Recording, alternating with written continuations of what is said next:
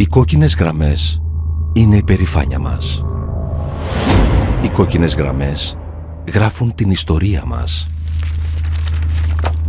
Οι κόκκινες γραμμές τιμούν τους προγόνους μας. Οι κόκκινες γραμμές είναι η ανεξαρτησία και η δύναμή μας.